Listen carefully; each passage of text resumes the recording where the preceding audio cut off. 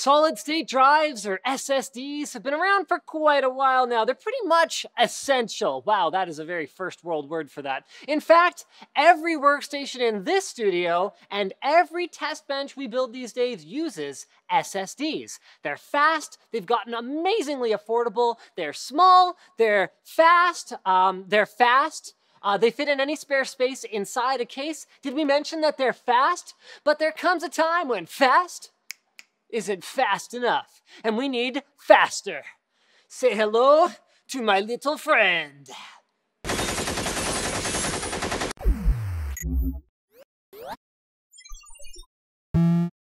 These are the Intel 750 series SSDs, the first available with NVMe, the full name for which is Non-Volatile Memory Host Controller Interface. But you can think of it like a newer version of AHCI that is specifically designed with the lightning fast speeds of SSDs and the high bandwidth of PCI Express lanes in mind. So how much bandwidth, do you ask? Well, these drives use a four-lane Generation 3 PCI Express slot with up to 32 gigabits per second of available through-put.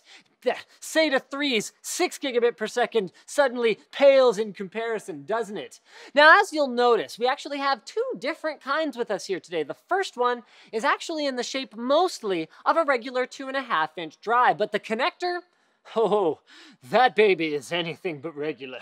It uses an SFF8639 connector, which is a type of SAS connector normally reserved for enterprise-level applications. Yes, this drive completely bypasses SATA Express because even that format wasn't fast enough for it. To use this drive, you'll need the included mini SAS like weirdo adapter cable and ASUS HyperKit and an M.2 slot on your motherboard, which interfaces directly with the PCI Express controller that is going to be on your CPU. And yes, it specifically has to be an ASUS HyperKit because there is literally no other cable or adapter on the market right now that a consumer can get, at least at the time of filming. Now, we got our hands on one, but it happened to be DOA, um, so Anthony quickly ditched this setup because he felt, and I think it's a great point, that there were too many points of potential failure with a setup like that. Fortunately, Intel also designed a pure normal PCI Express slot version that simply drops into your motherboard. The only downside here is that you won't be able to run quad graphics cards anymore, but it beats having to deal with this kind of messy and inconvenient alternative that is a two and a half inch drive, but like it's thicker, so it doesn't fit in a lot of two and a half inch slots. You're locked into this exact cable. Um, so yeah, the sleek and aluminum heatsink is just the icing on the cake. And the only thing missing from this is like a black PCB and like a black PCI slot cover or something. Ugh, looks so good. Both of these drives come in the same capacities and offer the same performance per capacity. You can get them in either 400 gig or 1.2 terabyte versions.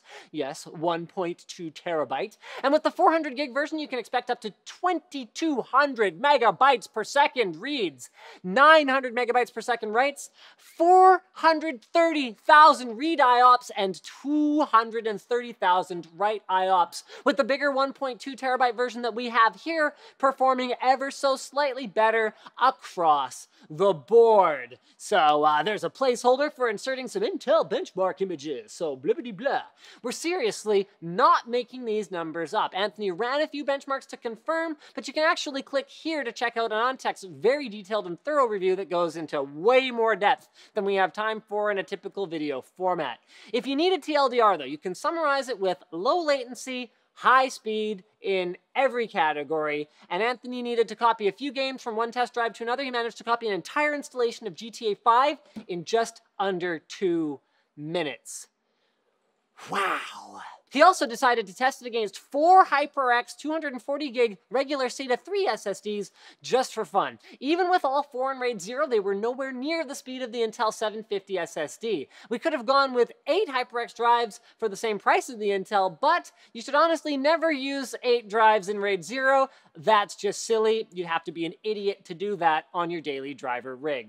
So in conclusion, the Intel 750 series NVMe SSDs are as amazing and fast as they claim to be. The Samsung SM951 series is just as fast, but it's quite difficult to actually buy one right now, and it only comes in a maximum capacity of 512 gigs, which is, as we all know, just less bragging rights than 1.2 terabytes. The high performance does come with a high cost though, over $1,300 Canadian for a 1.2 terabyte version and $500 Canadian for the 400 gigabyte version. But that's the price you pay for NVMe, which is low latency, high speed, and sex appeal. So uh, click right about, let's say here, or the link in the video description if you want to uh, have one of these for yourself and you're ready to pony up. Now, normally at this point in the video, we'd ask you guys a question like, would you buy this SSD? But we know that most people, most people probably wouldn't. So I'm just gonna, I'm just gonna gently stroke the SSD and we're gonna go with a more reasonable question that more people will answer yes to, like, you know, would you be willing to like this video with the button below to see more of me stroking things on camera? Don't forget to subscribe for more videos like this from NCIX. They probably won't have as much stroking, but you should subscribe anyway, just in case it's there. Yeah. Is this a static concern?